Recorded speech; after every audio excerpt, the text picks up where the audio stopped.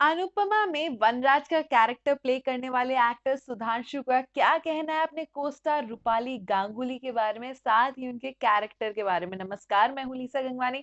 इस वीडियो में मैं आपको बताने वाली हूँ कि भाई वनराज का कैरेक्टर प्ले करने वाले सुधांशु बता रहे हैं कि उनको क्यों है ये कैरेक्टर इतना ज़्यादा पसंद? क्यों है इस कैरेक्टर से उनको इतना लगाव?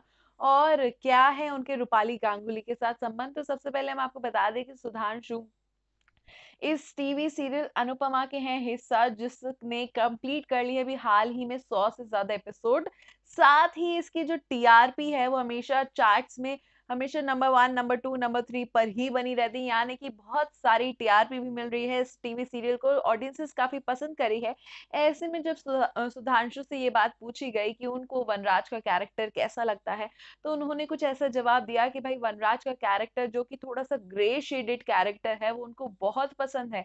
उन्होंने चालीस से ज़्यादा फीचर फ़िल्म में काम किया है, जिसमें हिंदी, तमिल और साथ ही एक हॉलीवुड फ़िल्म भी शामिल है, लेकिन उन सबसे ज़्यादा उन्हें वनराज का कैरेक्टर कैरेक्टर इसलिए पसंद है क्योंकि इसमें कई सारी कॉम्प्लेक्सिटीज शामिल है।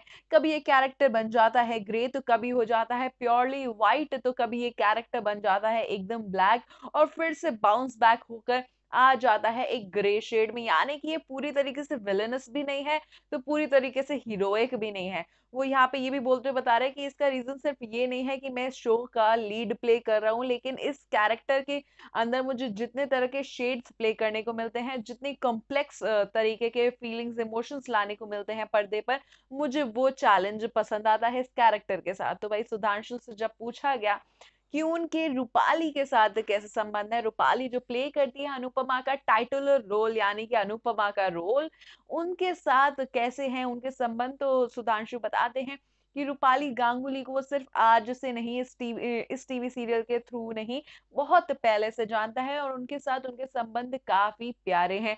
वो जानते हैं कि रूपाली कितनी ज़्यादा सॉफ्ट और कितनी काइंड हार्टेड ह्यूमन बींग है।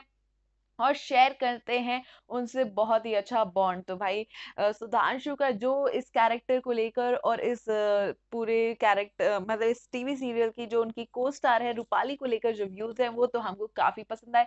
आपका क्या कहना है अनुपमा स्टार वनराज? यानी कि सुधांशु के बारे में लिखकर बता दीजिए, मैं कमेंट सेक्शन में साथ ही मैं चैनल देखते रहिए, क्योंकि ऐसे एक्सक्लूसिव अपडेट्स हम आप तक पहुंचाते रहेंगे।